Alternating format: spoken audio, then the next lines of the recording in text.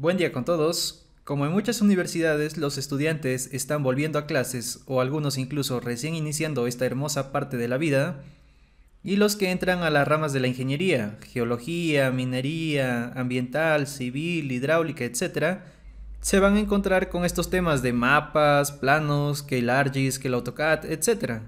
Es por eso que les he preparado este video introductorio a los sistemas de información geográfica y por dónde empezar, ¿no? Que va a sentar las bases teóricas del tema y tener una visión general por cuál software iniciar a estudiar de acuerdo a su especialidad. Son temas básicos y generales que si ya son profesionales o ya lo saben, quizá les suenen un poco repetitivos, pero lo pueden compartir con sus amigos o familiares que recién inician en este maravilloso mundo. Mi nombre es Elvis Alcántara y sin más, sean todos bienvenidos. Desde las primeras etapas de la civilización humana, hemos tenido que movilizarnos de un lugar a otro, ya sea en búsqueda de recursos, por temas climáticos, de riesgo, etc. Para ello hemos tenido que crear senderos, carreteras o incluso en épocas más recientes obras ingenieriles más complejas, puentes, túneles que atravesan kilómetros de montañas, etc. Pero para no perderse en, esta aventura de ir de un lugar a otro, tenemos que planificarnos. Si es que no logramos una buena planificación de la ruta, si no sabemos a dónde vamos, vamos a terminar en casos como estos, ¿no? Casos trágicos de perderse ya en alguna zona. Si es que logramos una buena planificación, por el contrario, la humanidad ha logrado grandes retos. Por ejemplo, unir dos océanos, como el caso del Canal de Panamá, atravesando grandes senderos, montañas, etc. ¿Y cómo logramos hacer estas grandes obras? Pues planificando bien, llevar toda la realidad y trabajarlo en laboratorio, en gabinete, planificar y salir a campo con todas las herramientas necesarias. Ahora bien, ¿cómo llevamos todos los aspectos de la realidad en algo trabajable? Tenemos que utilizar ya esta famosa palabra, la escala, que es una representación de las unidades del papel y las unidades del terreno, una relación. Si es que tuviéramos las mismas unidades en el papel que en el terreno, tendríamos una escala uno en uno. Pero eso en la realidad casi no existe tenemos que reducir las escalas. Por ejemplo, aquí vemos una escala 1 en 5000, o sea, una unidad en el papel representa 5000 unidades en el terreno. Y si incrementamos el número que está debajo, o sea, las más unidades en el terreno en relación al papel, vamos a encontrar escalas mucho más pequeñas. Por ejemplo, para lograr ver ciudades, naciones, continentes, etc. Entonces, si es que ven este número del terreno más grande, vamos a ver que la escala es menor. Incluso también podemos ver escalas gráficas que representen en el plano cuántas unidades estamos graficando. Normalmente van de la mano, ¿no? La escala numérica y la escala gráfica. Ahora sí estamos entrando a estas palabritas, planos y mapas. ¿Cuál es la diferencia entre uno y otro? Es prácticamente el objetivo, ¿no? En los planos lo que representamos son cosas mucho más detalladas, incluso medidas, longitudes, etc. Y una escala mucho más amplia, para poder ver mejor las cosas. En los mapas ya queremos representar, por el contrario, ya algún tema en especial, por ejemplo, naciones, vegetación, etc. Y tenemos un detalle mucho menor en otros aspectos, ya no tenemos tantas medidas, sino lo que vamos es al tema en sí que queremos representar. Y la escala normalmente es un poco más pequeña, para poder ver áreas un poco más grandes. Pero ahora en la actualidad estos términos incluso están perdiendo un poco de significado, ¿no? Porque ya tenemos incluso modelos 3D que representan ambos aspectos, tanto la del plano como la del mapa, con modelos totalmente trabajables según el software ya más avanzado, ¿no? Incluso ya estamos viendo estos planos con realidad aumentada, ya podemos tener una relación más directa. O incluso ya vamos a ver el tema de las aplicaciones de campo. En nuestro propio celular podemos llevar un plano, un mapa a campo y no perdernos así. Pero para llegar a ese punto vamos a empezar por conceptos clave uno por uno. Como ya vimos entonces, eh, desde tiempos antiguos ya se han creado estos mapas, planos, para no perderse en campo, para planificar una buena obra, una buena salida a campo. Todo nació desde este pequeño elemento, ¿no? que es la brújula. Era una aguja imantada que siempre apuntaba al mismo lugar, no importa dónde estemos. Ese lugar se denominó como norte, su contrario el sur, hacia la derecha el este y hacia la izquierda el oeste. También se les puede denominar oriente y occidente. Entonces, nuestro mundo, ¿cómo lo podemos representar en, en, un papel? Pues tenemos proyecciones, ¿no? Si es que colocamos una proyección totalmente planar, vamos a tener superficies planas, proyecciones planares. También podemos hacer que la proyección sea un cono, vamos a tener proyecciones cónicas. O si hacemos un cilindro, vamos a tener proyecciones cilíndricas. Vamos a ver que utilizamos actualmente estas dos proyecciones. Antes de eso, hay una proyección que siempre se utilizó, como ya vimos desde tiempos antiguos, incluso ahora todavía es muy útil, que son las proyecciones geográficas, que representan al mundo en tajadas verticales y horizontales, divididas en grados hexagesimales. En el ecuador, en el centro, vamos a ver que gira a 360 grados, y de norte a sur, empezando desde el centro, 90 grados hacia el norte, 90 grados hacia el sur. En cuestiones de latitud y longitud, que es norte o sur, la Tierra está dividido por el paralelo, que son las líneas que cruzan horizontalmente. El paralelo base va a ser el paralelo del ecuador. Hacia el norte va a ser positivo, hacia el sur negativo. De igual manera, en cuestiones verticales hay un meridiano, que se llama así a las líneas verticales, que divide la Tierra. Este parte del meridiano base del meridiano de Greenwich donde hacia el este es positivo y hacia el oeste es negativo. Así cualquier punto de la Tierra se puede representar con estas dos anotaciones, en latitud, norte o sur, y longitud, este o oeste. Aquí, por ejemplo, mi ciudad, estamos en Cajamarca, Perú, denotado por menos 7.16, menos 78.51. Estamos hacia el sur y hacia el oeste.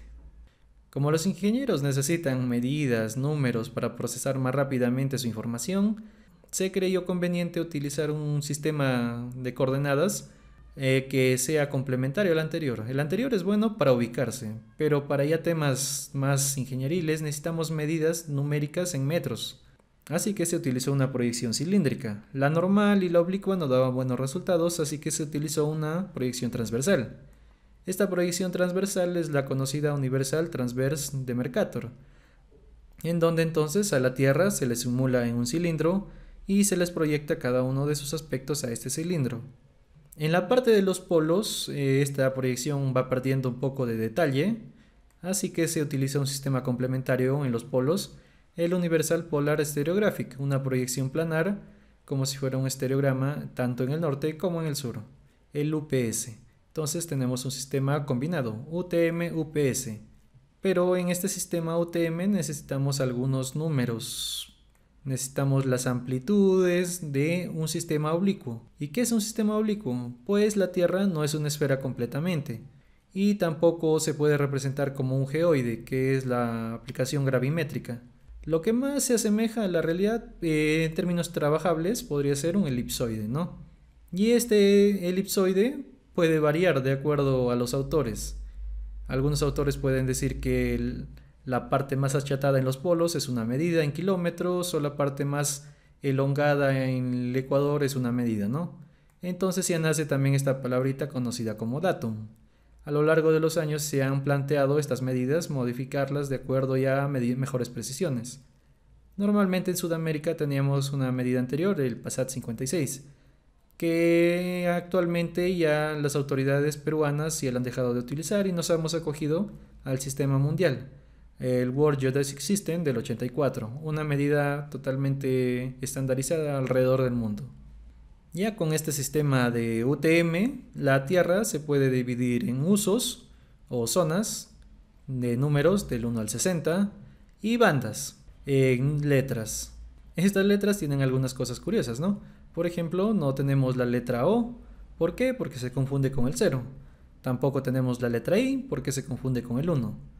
Y otras cosas, ¿no? Y así, con estas divisiones tanto verticales como horizontales de toda la Tierra, nos podemos ubicar en cualquier parte. Por ejemplo, aquí en Perú estamos ubicados en los usos 17, 18 y 19. Y las bandas M, L y K.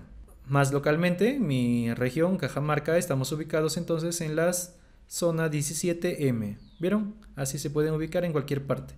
Y cada uno de estos cuadraditos de cada una de estas zonas, tanto en usos como en bandas, va a tener datos diferentes elipsoidales para proyectar las medidas correctamente. Muy bien, entonces ya sabemos cómo ubicarnos en cualquier parte de la Tierra. Ahora sí, ¿cómo represento ya cada aspecto de la realidad en el plano o en el mapa? Pues lo podemos dividir por temas. Cada uno de los aspectos de la Tierra lo dividimos en pequeñas capitas. Una capa vamos a decir a alguien que se vaya a cartografiar, a medir las partes catastrales. Ya tendríamos zonificaciones de casas, zonas urbanas, etc. Podemos hacer también un cartografiado de las fuentes de agua superficial y ya tendríamos un plano hidrográfico. También podríamos zonificar las partes de cobertura vegetal, ya tendríamos un plano que indique estas partes vegetales. Todas estas capitas ya van entonces a representar cada una de los aspectos del mundo real. Si es que ya llevamos a un sistema a combinar todas estas capas ya cartografiadas en campo, podemos tener, por ejemplo, en este caso, datos de calles, datos de construcciones, datos de vegetación, etcétera, lo combinamos y ya vamos a tener un sistema integrado.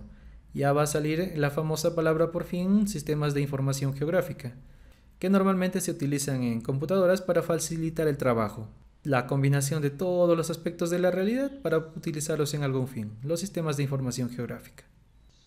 Y cada una de esas capitas que estamos viendo que representan la realidad lo podemos representar de dos maneras. Uno es en el formato raster otro es en el formato vector. Vamos a analizarlos uno por uno.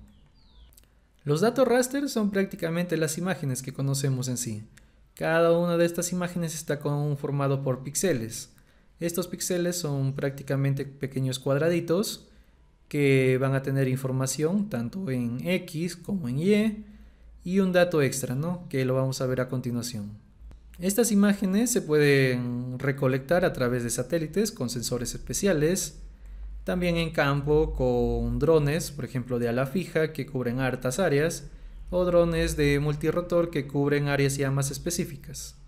Las imágenes raster, personalmente, yo suelo dividirlas según su número de bandas, según su número de información extra al X y E que ya tiene cada uno de sus píxeles. Por ejemplo, tenemos imágenes de una sola banda, por ejemplo los, los, modelos digitales de elevaciones, que aparte del X y E van a tener un tercer dato que va a ser la elevación, y normalmente se representan con un solo color, ¿no? El color más claro, por ejemplo, a altitudes más altas, el color más oscuro altitudes más bajas. También podemos tener modelos de sombras, ¿no? En donde aparte del X y cada píxel va a tener un dato extra de intensidad de sombra que viene proyectada por el sol. Siguiendo, vamos a tener imágenes de tres bandas, ¿no? Las conocidas imágenes satelitales, en donde cada píxel aparte del X y va a tener datos de rojo, verde y azul, saturaciones que van a representar la realidad, como si fuera una foto desde el aire. Y finalmente vamos a ver imágenes de más de cuatro bandas, que aparte del X entonces cada píxel va a tener más datos. Normalmente llegan a tener 10, 13, 14 bandas, recolectados por satélites especiales, por ejemplo el Landsat 8, lo cual nos ayuda a combinar a estas diversas bandas capturadas en cada uno de los espectros de la luz del Sol, en donde vamos a encontrar, por ejemplo, zonas de agua, zonas de vegetación, etc. Ahora sí, el otro formato de representar la realidad es el formato vector, que son simplemente ecuaciones, números dentro del software. Si le decimos al software que solo tenemos x, y z, va a representar un punto. Si al software le decimos que una varios puntos, vamos a tener ya líneas. Si es que al software le decimos que esos puntos que van a unirse son áreas, ya vamos a tener polígonos. Con puntos podemos representar la ubicación de árboles, con líneas podemos representar la ubicación de ríos o con polígonos, por ejemplo, podemos representar terrenos, ¿no? Estos datos vectoriales los podemos recolectar en campo. Por ejemplo, con un GPS podemos marcar puntos que representen, como les mencioné, a puntos, líneas y polígonos, sus X y Z. O también con GPS más modernos o en una aplicación podemos ir dibujándolas, ¿no? También podemos recolectar estos datos de información con levantamientos topográficos, o ya también nos podemos afianzar de este método que es la digitalización. Poner una imagen raster de fondo y empezar a digitalizar con el programa los puntos, líneas y polígonos que representen la realidad. Ahora sí, de alguna u otra forma vamos a conseguir nuestros datos raster, nuestros datos vectoriales. ¿Cómo lo generamos los planos finales? Pues ya vamos a necesitar un software. Y de estos softwares hay un montón que nos ayudan a procesar capa por capa datos vectoriales, datos raster para sacar los planos finales. Vamos a ver algunos y los más principales. El programa básico a saber por todos los profesionales es el programa Google Earth Pro. Es un programa incluso libre distribuido por Google en donde vamos a encontrar datos de todo el mundo. Es prácticamente todo un globo terráqueo pero a mayor escala. Incluso acá podemos sacar medidas, planificar nuestra salida a campo y generar planos básicos también.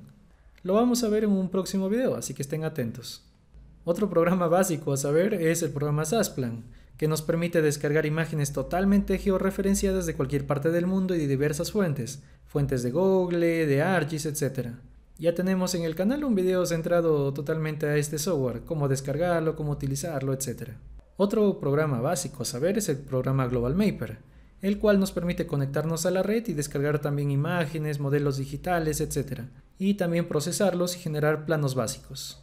Otro programa básico a saber estos días es el famoso QGIS, el cual tiene la ventaja de ser un programa de licencia libre, que ayuda a empresas que no tengan los recursos de afianzarse de otros programas a poder crear sus propios planos totalmente personalizados. Ahora sí, si hablamos de sistemas de información geográfica, no podemos dejar de hablar del programa ARGIS, el más difundido y el más completo en la actualidad, que se ha ganado este puesto a puro esfuerzo y desarrollo por muchas décadas, el cual contiene grandes herramientas en creación de datos, procesamiento y presentación de los resultados. En el canal ya tenemos un curso totalmente dedicado a este software en su nivel básico e intermedio, y también normalmente sacamos periódicamente videos libres con alguna aplicación en específico. Estos no son los únicos softwares de procesamiento de información geográfica. Tenemos muchos más, por ejemplo el Surfer, MapTiller, MapInfo, Petra, entre otros más. Ah, incluso algunos lo pueden considerar al AutoCAD y a su versión más completa el AutoCAD Civil 3D dentro de este mundo de sistemas de información geográfica, ya que actualmente cuenta con algunas herramientas de procesamiento de información. Ahora sí, para hablar de ArcGIS tenemos que hablar de su empresa creadora, ESRI, Environmental System Research Institute, el cual no solo tiene un producto, el que siempre hablamos es el ArcGIS Desktop, o sea, el ArcGIS para escritorio, pero tiene un sinfín de productos extras, por ejemplo el ArcGIS Online, el ArcGIS Pro, el ArcGIS Enterprise, etc. Estas son sus aplicaciones también, por ejemplo. También tiene contenidos, herramientas para desarrolladores, extensiones para el ArcGIS Pro, extensiones para el ARMAP, servicios y extensiones para el ArcGIS Enterprise, soluciones extras para AutoCAD, etc. Como ven, este mundo de los sistemas de información geográfica es muy amplio, es muy vasto. Incluso solo hablar del tema de ESRI ya es hablar de todo un mundo de información que tenemos que saber. Pero el paquete que todos debemos conocer es el ArcGIS Desktop, que está conformado por ARMAP, ArcCatalog, ArcSen y ArcGlobe. Y dentro de estas cuatro aplicaciones, la que tenemos que conocer básicamente es el ARMAP, que nos sirve para crear planos en 2D. También tenemos el ArcCatalog, que se especializa en personalizar cada uno de los shapefiles, el ArcSen, que nos permite crear visualizaciones en 3D, o el ArcGlobe, que nos permite presentar nuestros datos en un globo terráqueo como si fuera el Google Earth. Y como ya les mencioné entonces, en el canal ya tenemos un curso totalmente dedicado al ARMAP para creación de planos en 2D. También hay un video especialmente en ese curso dedicado a Arsen. Y como les menciono, también normalmente sacamos videos libres dedicados a un tema en específico.